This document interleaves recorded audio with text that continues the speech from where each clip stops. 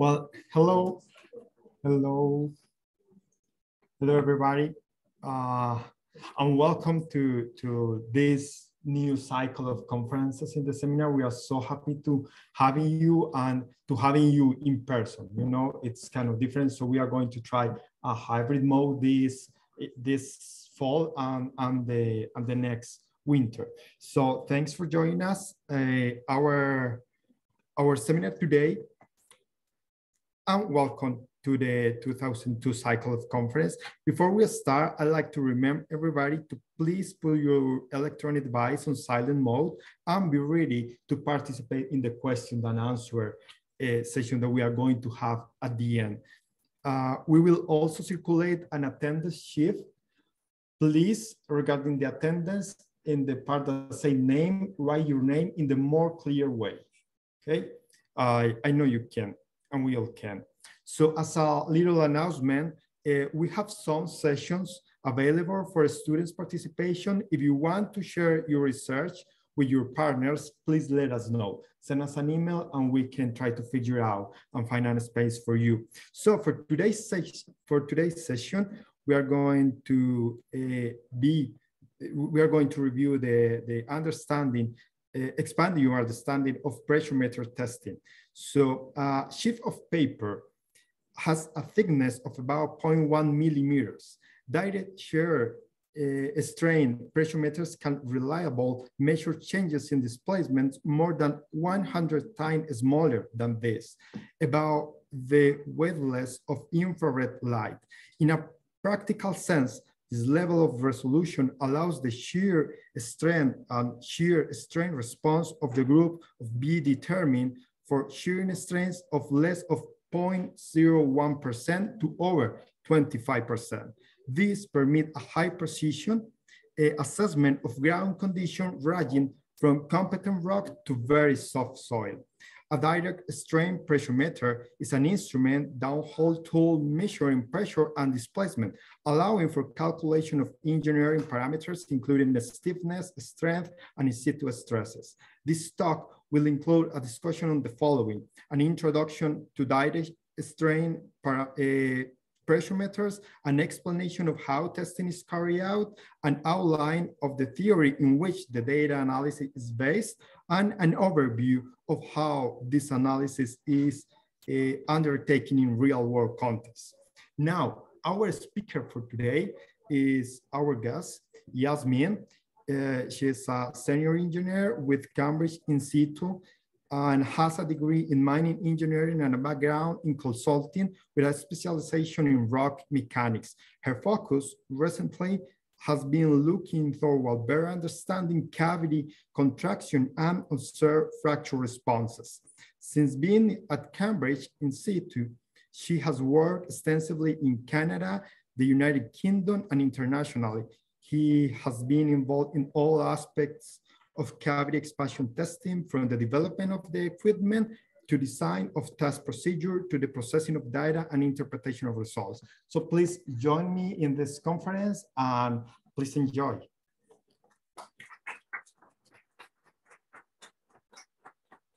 Oh, thanks guys for being here and thank you everyone online.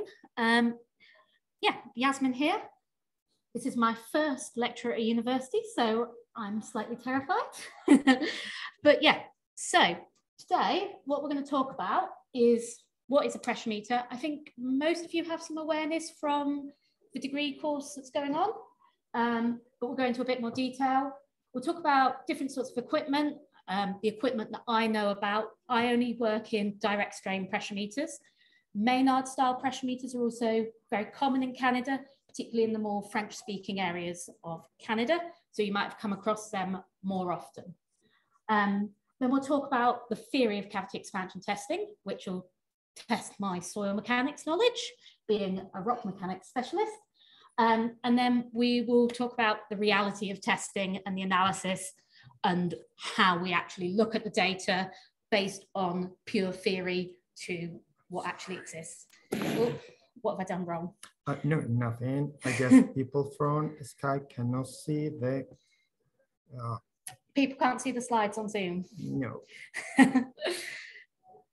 No worries. We are working on that. Just one minute. It shouldn't be difficult. It shouldn't be difficult. Yep. All good? Yeah.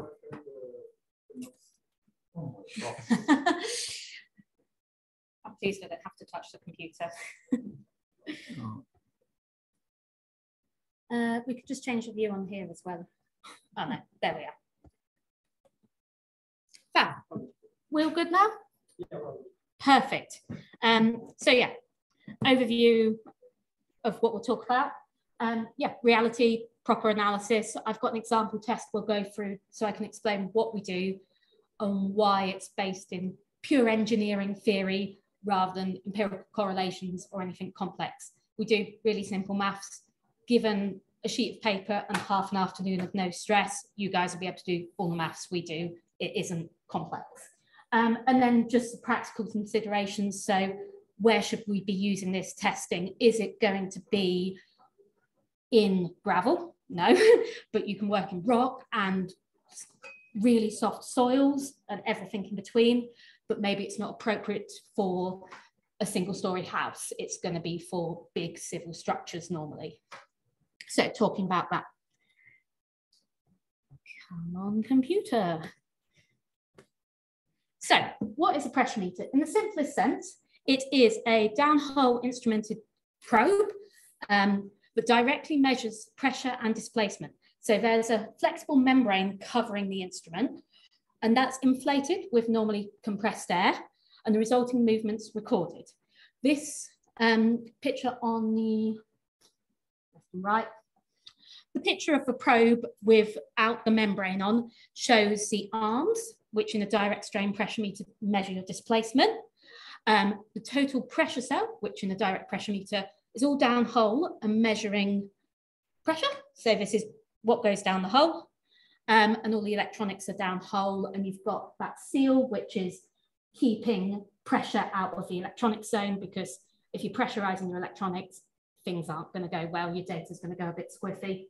Um, and then also on this example, so one of the direct strain pressure meters I work with regularly has pore pressure cells, so you can record the pore water response while applying pressure and recording displacement. So you can start looking at how a material responds to loading. And that can become very powerful if you're interested in something like liquefaction, if you're thinking that ex excess pore water pressure is going to be generated when the pressure is held constant. So pore pressure cells are useful. But yeah, pressure meter is just a fancy balloon really, um, that's very well instrumented. Um, just the difference between pressure meters I'm talking about, the Cambridge style direct strain pressure meters. Um, I think University of Alberta might have a direct strain pressure meter as well. Not sure. Yes, good. um, which I think is similar to the Cambridge style pressure meter. Um, but the difference between Cambridge style and Ménard style is the strain gauges. So these are in for the arms, they're about the size of your little finger. Um, and they're Wheatstone bridge circuits. So you're managing to record with very high precision a voltage that occurs across um, the arm movement. we have a resolution of about 0.1 microns um, displacement and about 0.1 kPa pressure.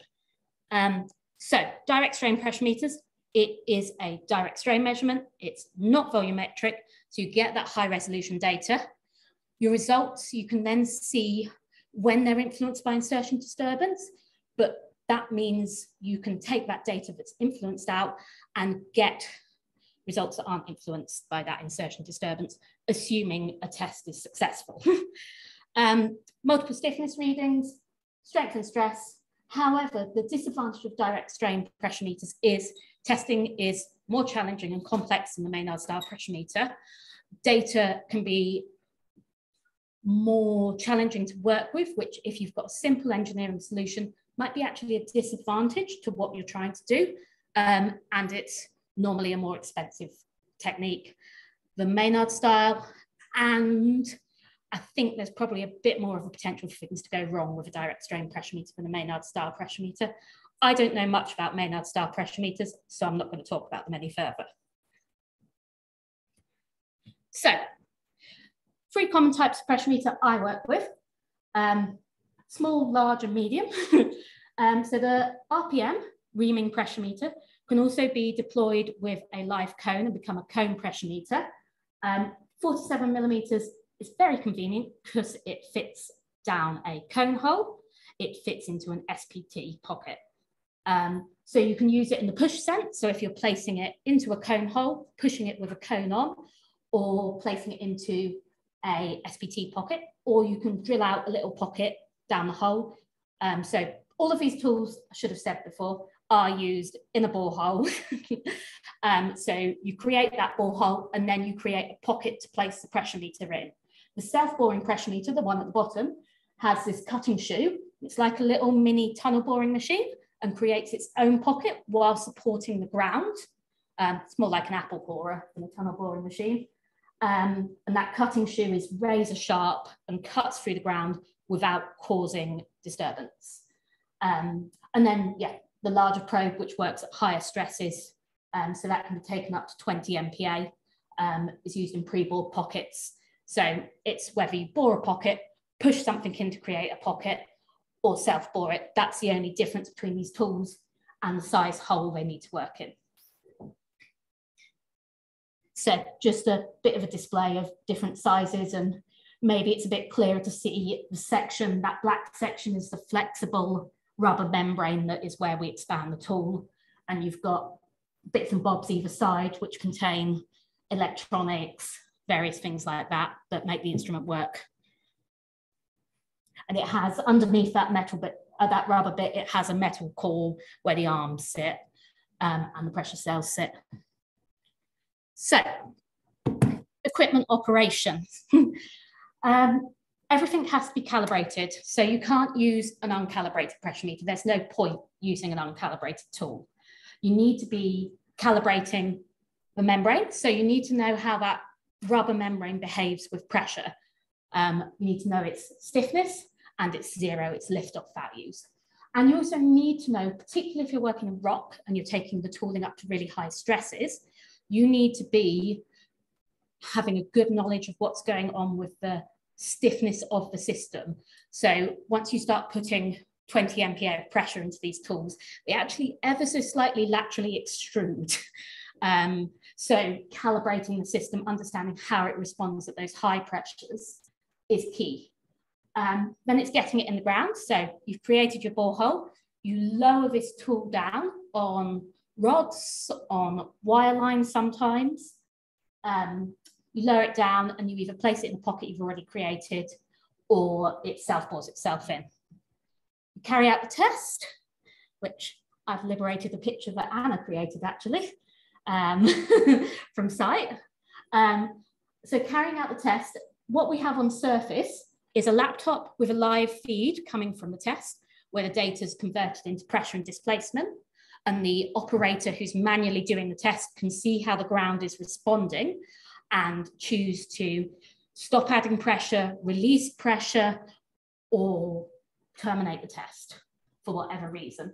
And he's adding pressure and releasing pressure based on what he's seeing on his laptop screen um, with this panel here, which has a regulator, various valves which allow air to go in, air to stop going in, air to go out.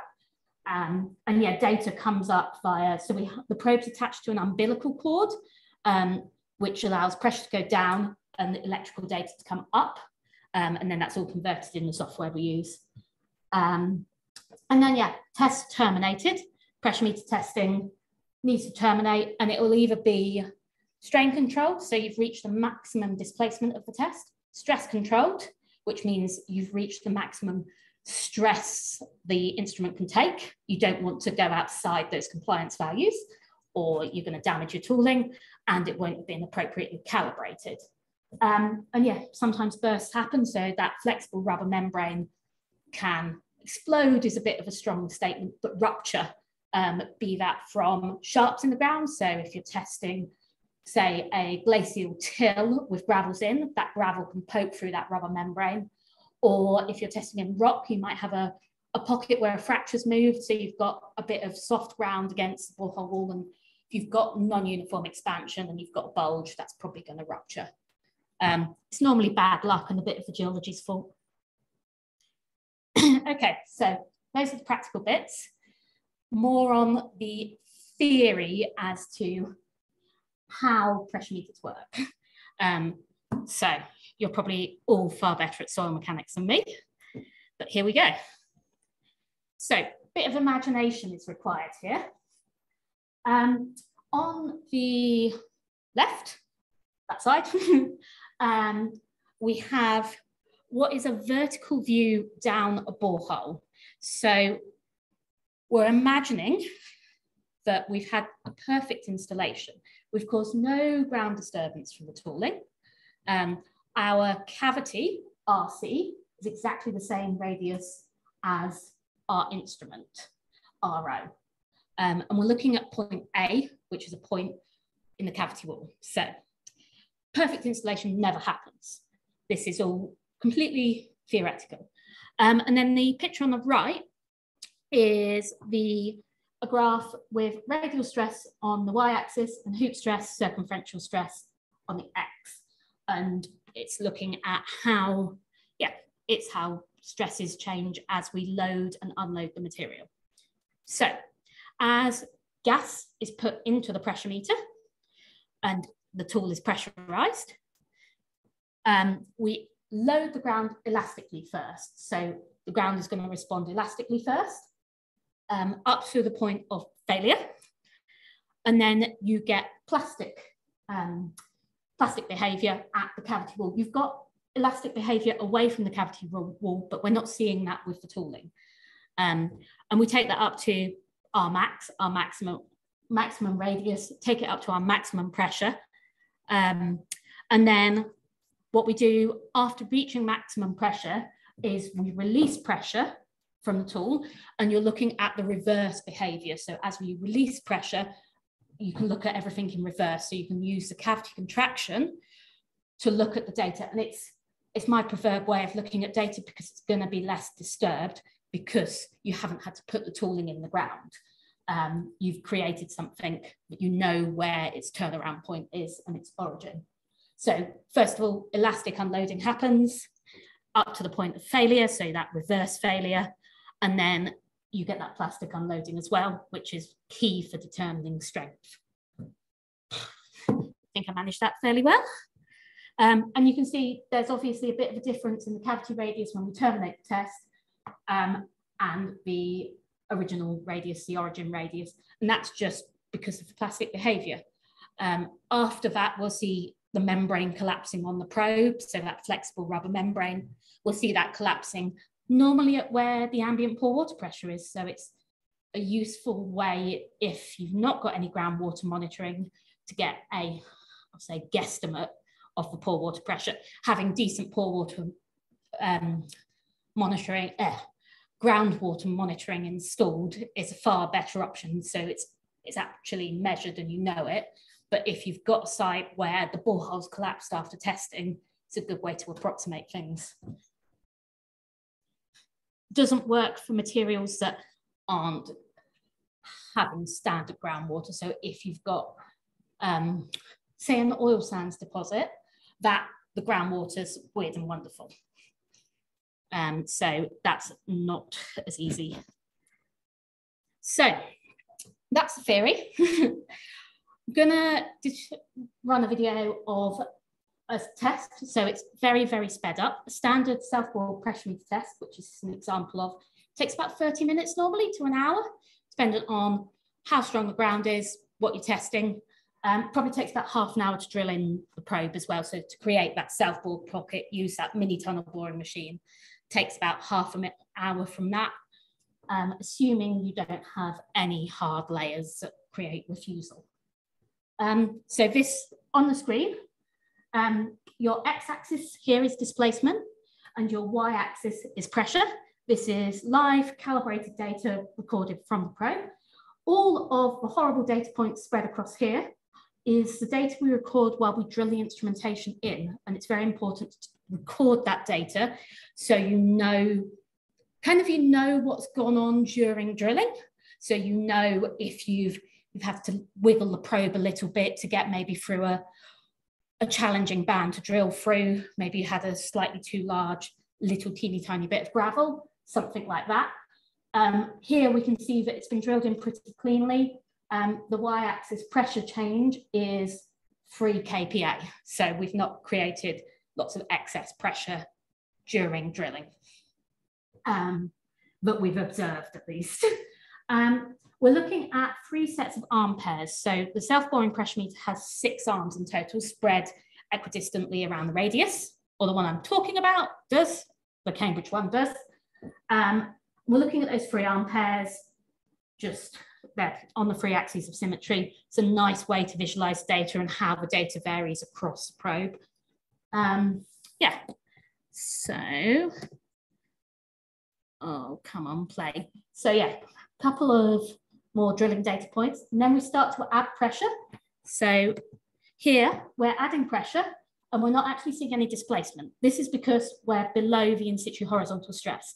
So even while we're doing a test, during the live testing with a pressure meter, you can start to see things like the in situ horizontal stress. So um, yeah, so no movement. And then you start to get movement occur.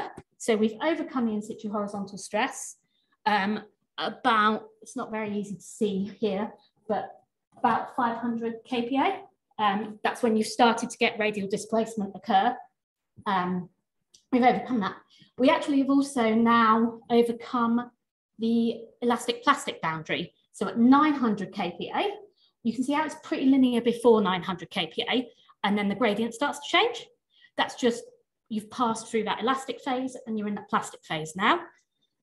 Um, then we take creep readings and we unload and reload the pressure. So we're, we're playing with that, um, those boundaries, those stress boundaries. And as you unload, you've got elastic behavior coming back and then you reload and you're pushing that boundary ever outwards. So yeah, you're doing two cycles on the loading normally, creep hold before the contraction, um, and then a cycle on the unloading to see how, that's also allowing you to see how uh, stiffness varies with stress level.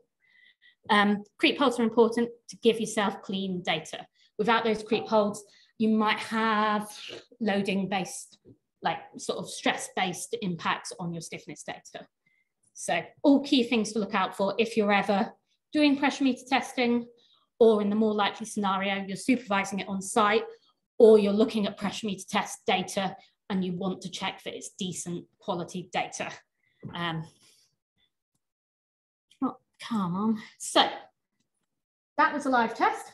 This is the data we get into the analysis team.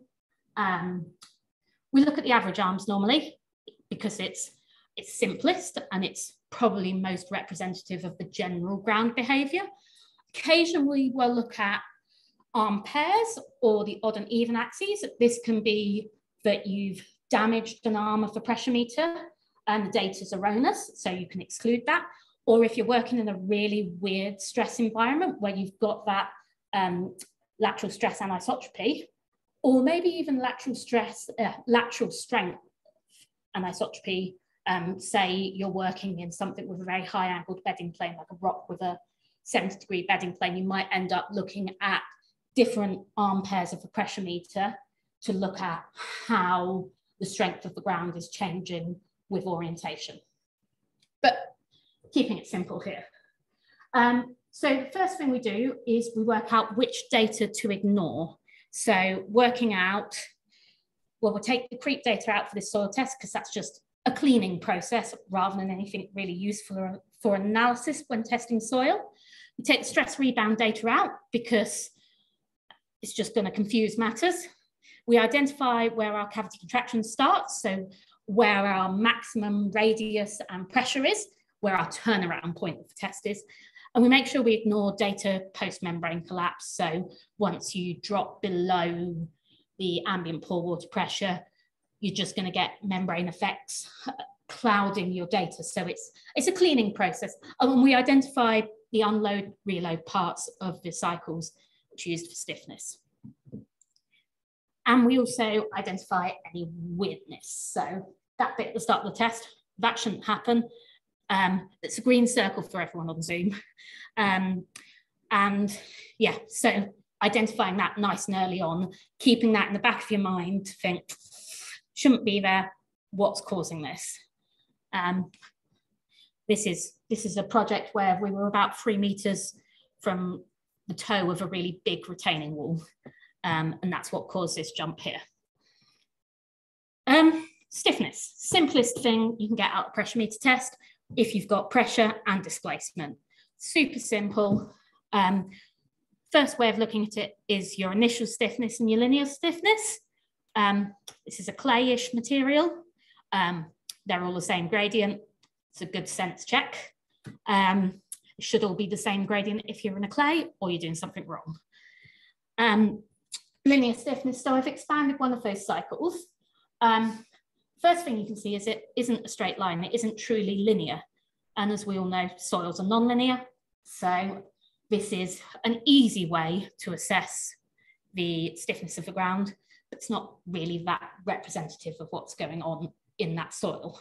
So we apply a power law to get a constant, an alpha value and a beta, um, looking at data on log-log scales to get a nonlinear representation of stiffness.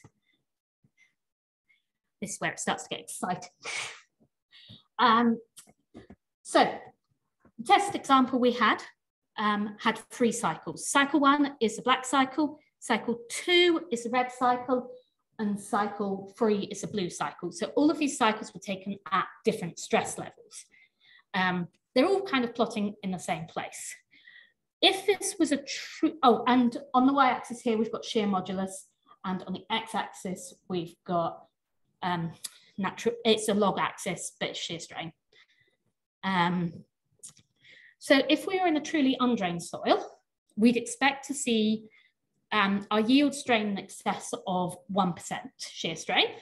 Um, and we'd expect to be seeing stiffness to remain basically constant with stress levels. So these cycles were taken at different stress levels. They were taken at, I don't think they were taken, they were taken at 500 kPa, 1 kPa, and uh, not 1 kPa, 1 MPa and 2 MPa, for example. And you don't see variation in stiffness with that stress level indicating constant volume conditions, indicating this material is uh, behaving in an undrained manner. If your soil is drained, you see quite a different response. You've got a yield strain of about 0.3% and your stiffness is varying with stress level. So as you take cycles at higher stress levels, you see a different response. Um, so on our example, we can see our yield strain is somewhere around about here oh, my mouse isn't appearing on the big screen. It'll be log scales and reading off a graph. Um, probably be somewhere about 0.8% shear strain. Um, so right on the right of that axis where the data is falling off the curve, where you lose the trend. Um, and you can see that most of those cycles are plotting in the same sort of place um, indicates it's a silt or maybe a clayey silt, which in the London clay is how we expect the ground to behave. So I'm going to speed through these, otherwise it's going to be death by graph. Um, in situ lateral stress, again, we're looking at lots of different techniques. So the whole point of pressure meters is data repetition from one test at one interval. You get three, four readings of stiffness you'll do that for the in situ stress and the strength. So it's repeatable values for stiffness, strength, and stress. You're building up a picture of what's going on in the ground. So we firstly look at where we start to get movement, radial displacement occur. Um, and that's simply the arms lifting off. You've overcome the native stress of the ground. We look at our yield stress and back calculate what our in situ stress is from there. Um, it's not a great example, I'm afraid, but that's the reality of testing. You can see that little jump at the bottom is something's going on in the ground. We've got a bit of disturbance, so we're not, we're not fitting very well here. We look at the pore water pressure response. So Um, when we start to get an onset of excess pore water pressure, so our gradient starts to increase, that is an indicator we've overcome the in situ lateral stress. Um, and then we can also spot the yield stress from the pore water pressure response. Sorry, give me a moment.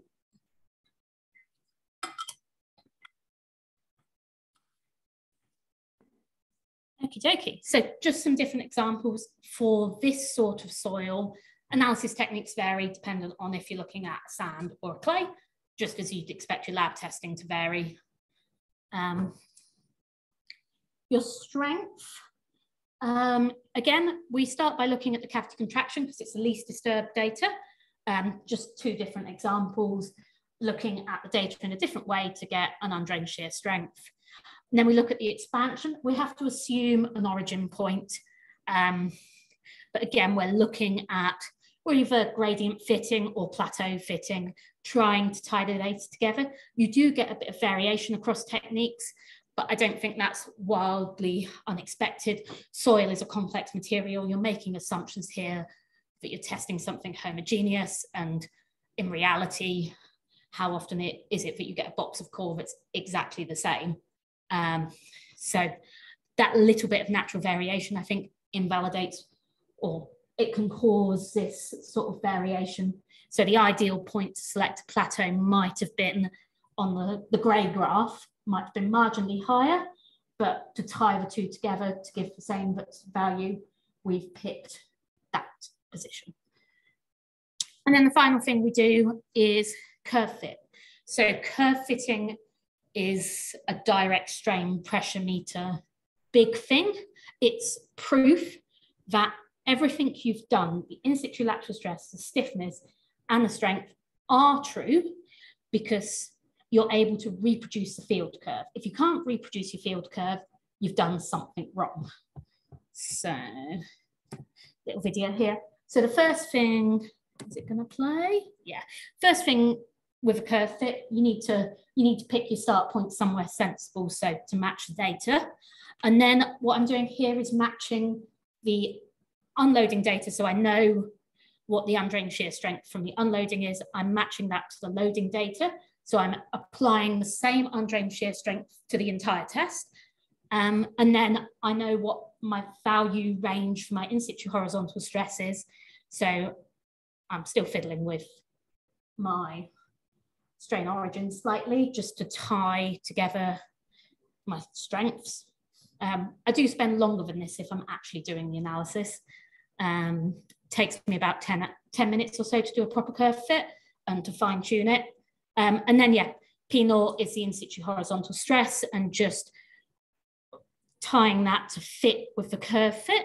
It is marginally higher than the rest of the observed in situ horizontal stresses I got, but that makes sense because we've got that disturbance at the start, which indicates the ground having relaxed. So we will have we will have lost being able to see, say, 10 kPa of in situ horizontal stress. Sometimes you might push the probing a little bit, so put a little bit too much down force on, and you'll see a higher than representative in situ stress in the observed techniques, and your curve fit will come out a bit lower.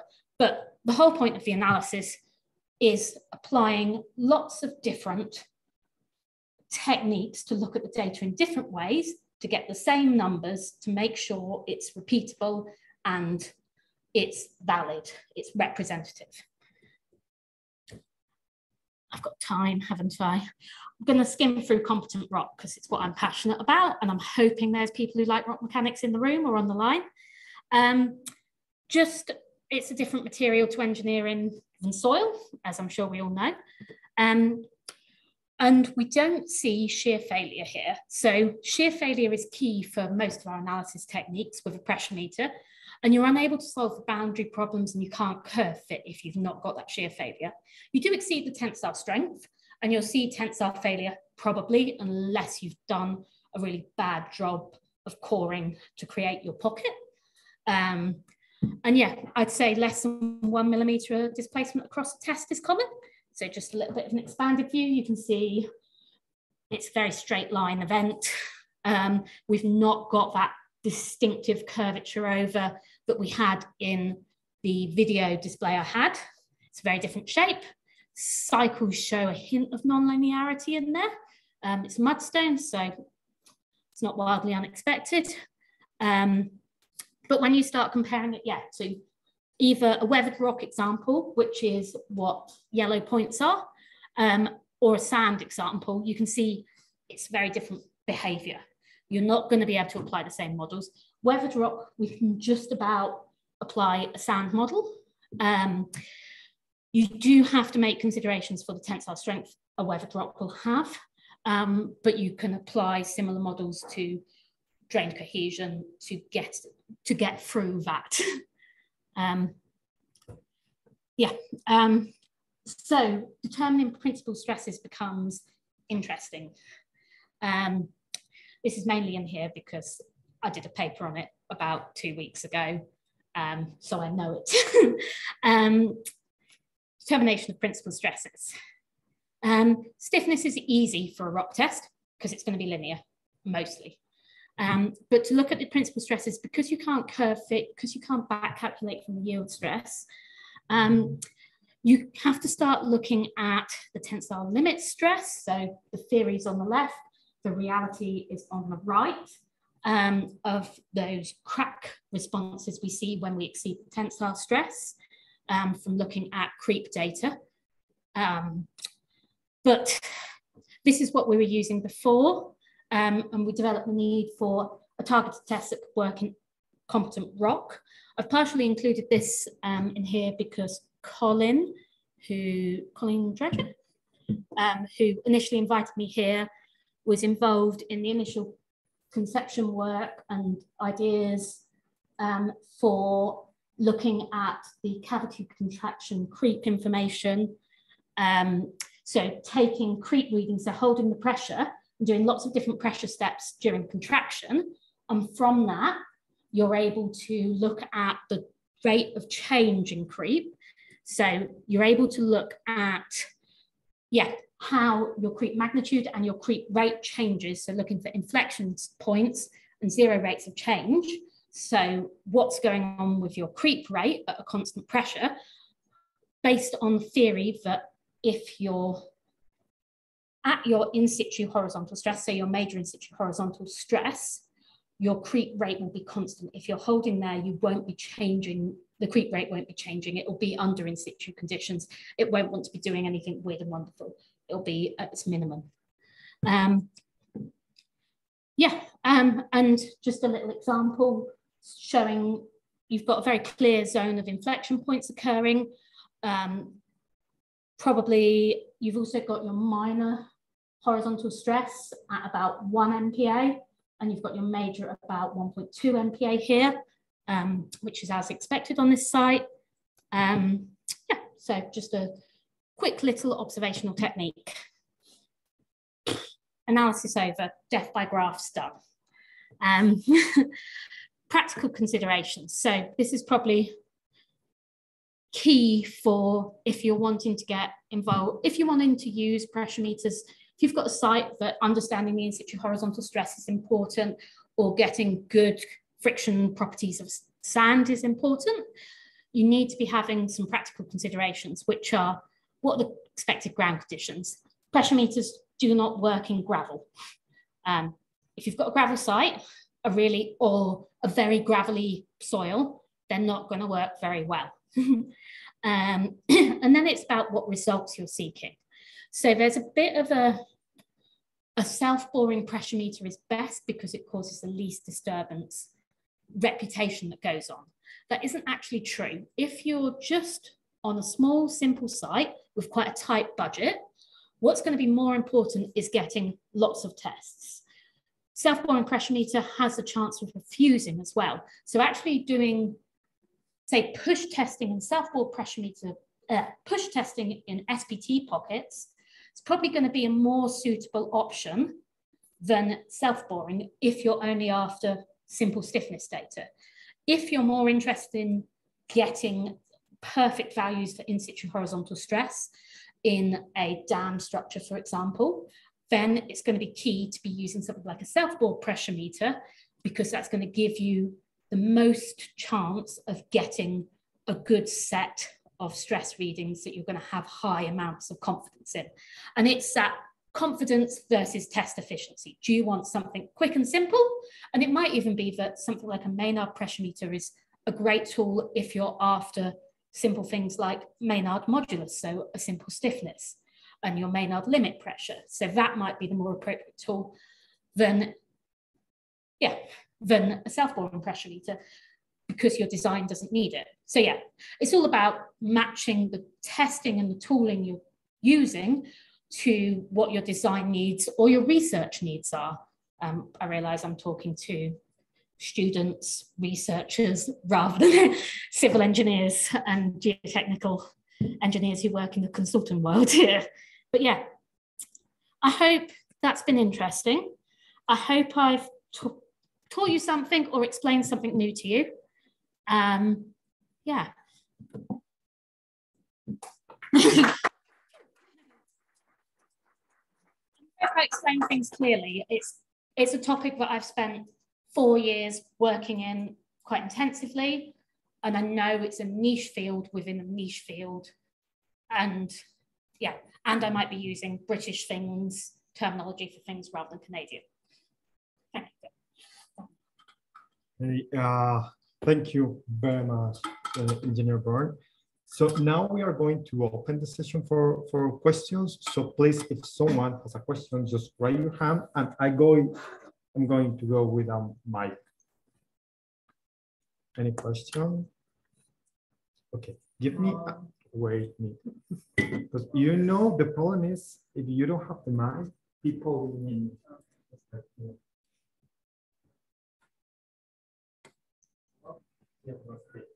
um, so a question, so so the sensor it sits flush with the okay. Um, so the sensor sits flush with the borehole wall, correct? So not exactly. Okay. So the sense I should have brought I should have brought a demo probe. They're just really heavy is the problem. so let me go back through my slides.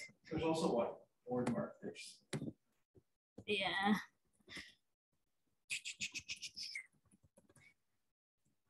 Sorry, everyone. Take me a moment. So the sensors, apologies for everyone in Zoom. The sensors, these arms and the pressure, the TPC, sit on the inside of a flexible rubber membrane. The PPC, we have a porous stone that goes through that membrane, and the pressure, the PPC diaphragm or pressure diaphragm, it sits behind that. So that it isn't flush with the ball borehole, but you've just got a porous stone in between. So that's as flush as you can get, really. The rubber membrane we have sits over those sensors. So what's really important is calibrating to know the properties of that rubber membrane. Mm -hmm. Otherwise, what you're going to have is just going to be readings on the inside. If you don't properly calibrate that rubber membrane, because you're measuring on the inside of that rubber membrane. Pressure, it's not such a big problem, um, but displacement, you need to know about membrane thinning. You need to know about the stiffness of the membrane. Um, yeah, so they don't sit directly flush to answer your question, okay. but mathematic, just simple maths considerations are done to calibrate out the influence of the rubber membrane. Okay, so when when it's being installed in the hole, yeah. So whether so like if you have a tight fit where say it's just a few millimeters or versus you know a few centimeters. Yep. Do you see that affecting the the performance of the test, or quality data? Um. Yes. So, um, the HPD, for example, that will have a maximum radial expansion capacity of 20 millimeters. Um, so if we're flush, it's good because it means that we're able to expand it more in the soil. So say you had a really, you were testing a soil here and you'd done a really oversized pocket or it collapsed a bit, we're going to see the disturbance from that soil movement from poor quality drilling. Um, and with these pre-bore tests, you have to expand the pressure meter out past that zone of disturbance. Right. So if it's not this ideal case, you've probably got a zone of plastic disturbance sat somewhere out here. Right. Um, so you're going to have to expand the radius of the probe past that plastic disturbance to start seeing behavior of the ground that's Mhm. true, Right. rather than you've drilled a hole, the drillers have gone for a cup of tea and a sausage roll, Okay. um, and then you get the probe down the ground and it takes half an hour to trip the probe in if you're testing somewhere really deep, for example. Yeah. And the ground will have had, if it's pre-bore pocket, quite a bit of time to relax. So you have to get past that plastic zone of disturbance and test. So that's why 20 mils is important. And the bigger the pocket, the poorer quality the pocket, the poorer quality the drilling, the greater this is going to be, Mhm. and the less you're going to have a clean testing. Okay. Um, yeah, yeah. Um, and if you're testing a rock, the more oversized your pocket, the less pressure you can take the probe up to. So if your pocket's five mil oversized, it's gonna you're gonna increase your risk of bursts significantly. And we're quite, I know Stuart's on the line, but we're quite fussy about pocket size and pocket quality because there's no point doing a test, getting the data back to the office, and just looking at your testing. We've done it before where we've tested drilling mud rather than the ground. Um, we can see it quite quickly and we can terminate the test quite quickly. But if the pocket's really poor quality, we just don't connect with the borehole wall and we just test mud. Yeah. Okay. Thank you. no worries. Question. Uh, we have two questions from the Zoom.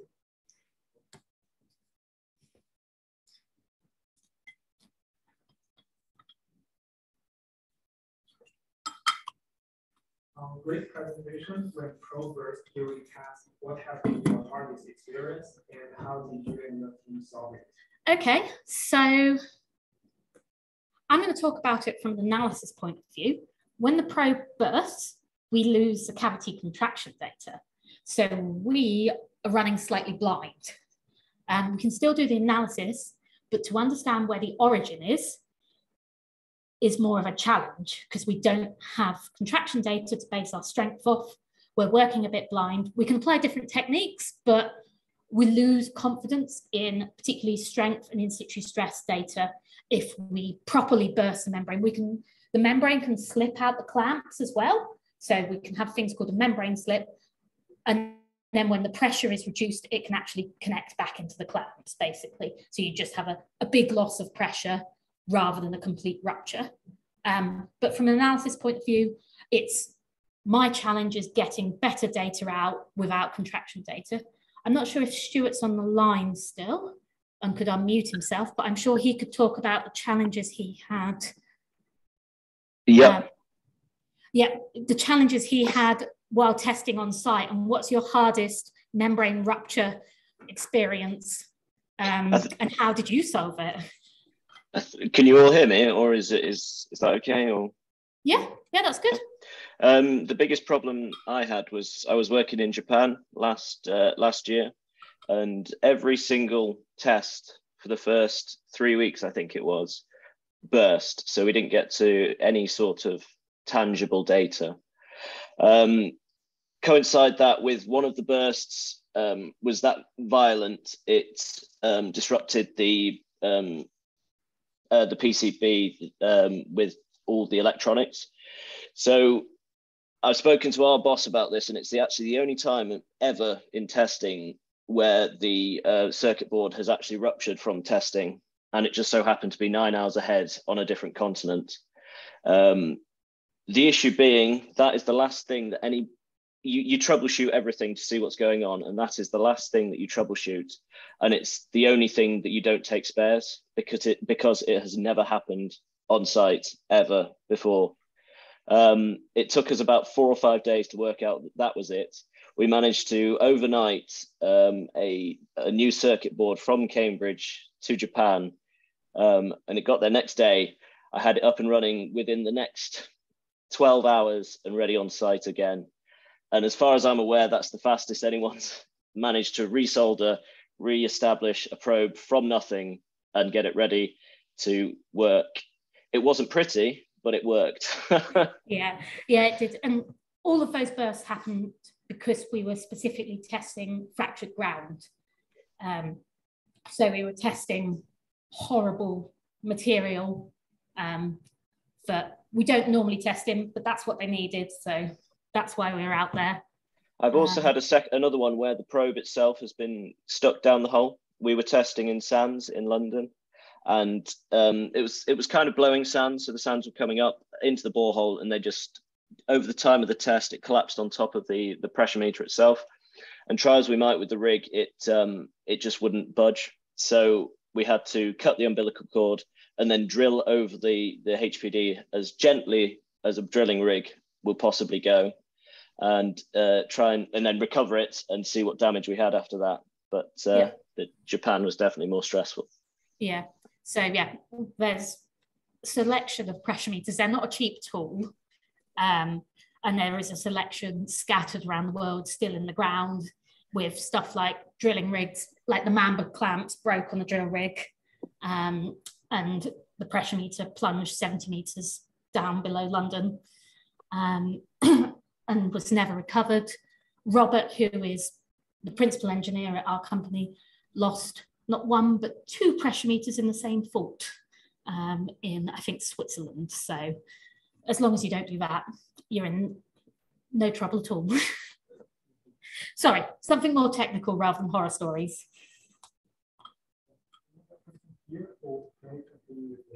We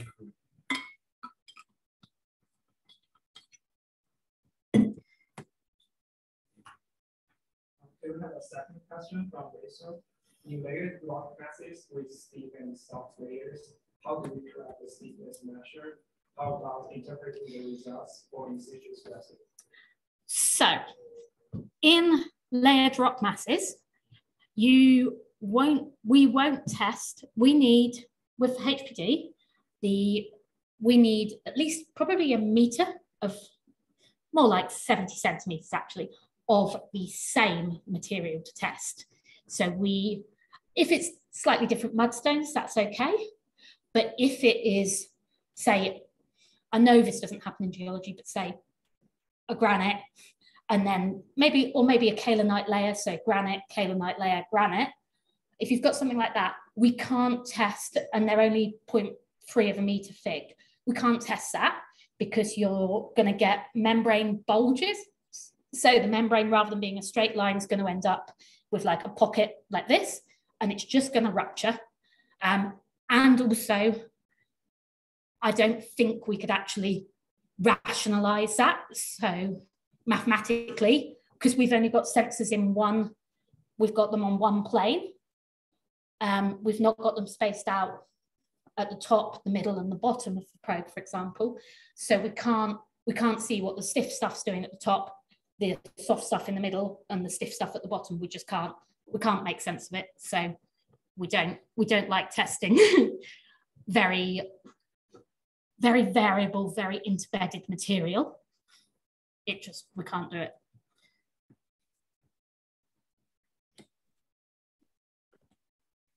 Uh, can, I, can, I, ask a question? Yes. Yeah, this is uh, Derek Martin, Yasmin. Oh, uh, hello, Derek. hi. Uh, great presentation, by the way. I was wondering if you could uh, pull up your example of uh, elastic rock, and I just yeah, give me a moment. Yeah. Would you like the zoomed in view? I think I know what your question is going to be as well. No, it's uh, well. I mean, it's it's more. Um, so when you uh, you do these routine uh, creep uh, tests, yeah, pressure holds. Be there, yeah. So uh, is this real creep or is this a combination of probe creep or membrane creep, or is it, do you believe it to be rock creep? So I, it's not proper creep because in my brain, proper creep is what I describe as like a secondary creep behavior, whereas which needs more time than these holds are only 60 seconds long. Um, so it's an instantaneous creep. Um, we do test the probe for creep and the membrane for creep. Um, and we don't really see significant amounts of creep. The amounts of creep we see in a rock test here, we see like, we see very small amounts if we see them.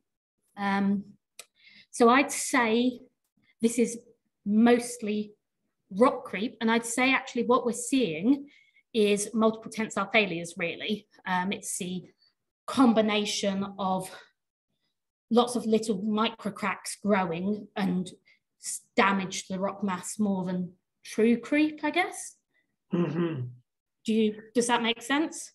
Yeah, because uh, the uh, the amount of creep, say below 10,000 kPa, seems to be considerably less than the amount of creep above 10,000.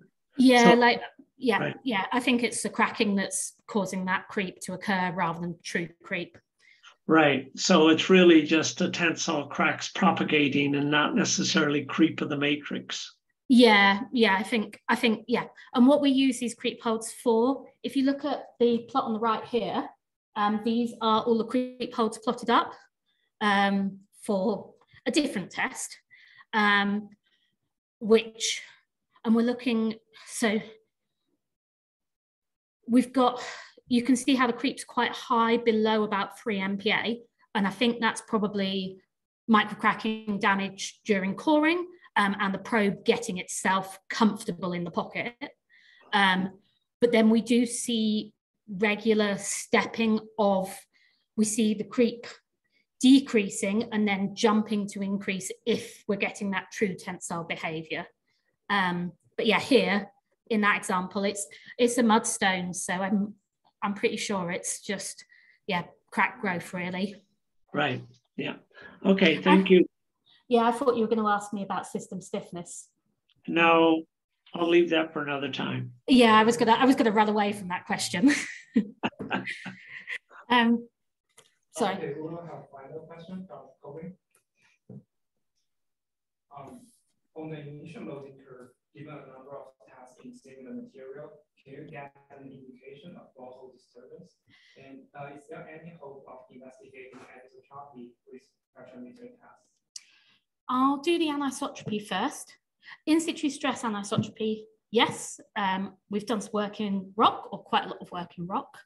Um, and you can look at the stiffness, how the how during the unload reload cycles on different axes, the stiffness varies because that's the cleanest data. So using that clean data, and you can look at your, you can't get your in situ stress magnitudes, but you can get the relationship. So between your major and minor horizontal stress, if you're in a soil structure which you know has anisotropic stress conditions.